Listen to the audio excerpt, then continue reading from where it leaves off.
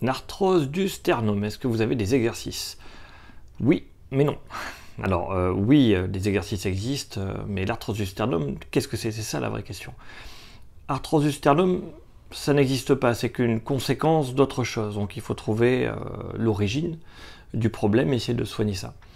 Et voilà, sur le sternum s'attachent les côtes, les côtes qui s'attachent sur les vertèbres euh, dans le dos. Et voilà l'origine du problème. C'est que dois te tenir en syphose, beaucoup trop plié en avant, beaucoup trop, euh, tu euh, avec la bosse dans le dos. Et ben, si tu as une hyper flexion, une hyper syphose du thorax, que ton thorax est trop enroulé, tu auras énormément de pression sur les côtes.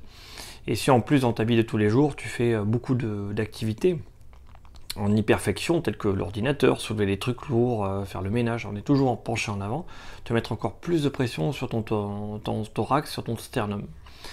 Donc euh, voilà, l'origine euh, des douleurs du sternum pour la plupart, pour la plupart, je dirais 95% des douleurs, ça vient du dos. Euh, ça vient des, vertèbres thoraciques. Et euh, si tu regardes la vidéo, je montre euh, pour le torticolis thoracique ce qu'il faut faire, c'est-à-dire la balle dans le dos, s'allonger sur une balle pour étirer ces structures-là. ça marche très bien.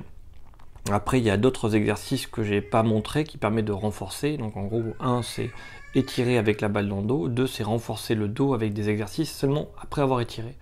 Mais j'ai pas encore montré les exercices.